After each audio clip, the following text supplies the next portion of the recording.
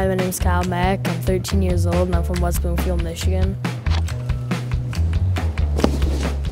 Uh, right now, I'm mainly riding at Boyne Mountain and Otsego, which this year is probably one of the best years Otsego's ever had because it's got a 22 foot super pipe.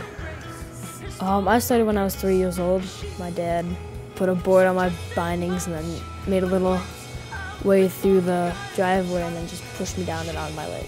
Is a huge thing in my family. Like every weekend, we all love to go up north and hang with all our friends and ride around and just have a good time. Go out and have a barbecue, and I think that's just huge.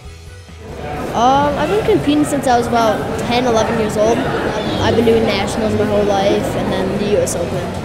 I got picked up in Burton when I was about seven years old by the Michigan Reb, and then when I was about 10, 9 years old, Burton put me on the small stick. I went out and did the Vail stop, and it's really sweet to be competing with all the older kids and everything, and be able to like ride with them and try to throw down just as hard. It's super intimidating for me to like try to follow right behind them. For the video part, my coaches just like to follow me around with the GoPro. I'll be warming up one day, and then I'll be like, I'm gonna throw back nine on the second jump. And they're like, okay. And they just get out their GoPro, videotape it, ride down, we do the same thing.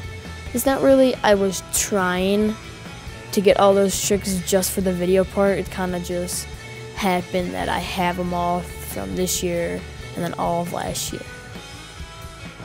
My heart was pounding definitely. It was definitely a nervous feeling. It was like it was like anybody would love to have the pressure come down and like to take it home with all the pressure on them. You know, everything happens. I was stoked. I took second.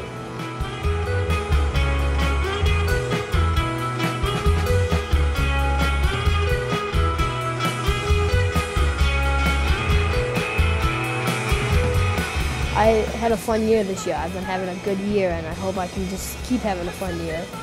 I don't want to get too caught up in the com competition and getting all bummed when I lose and stuff.